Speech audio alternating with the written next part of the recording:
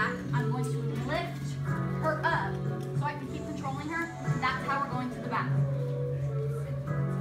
Once we get here, I'm going to go to the side of the choke, put my body triangle in, trap her shoulder, trap her arm, trap, take this and just fish it back behind her neck so I don't have to deal with her hair. Then we're going to freedom rock and puff.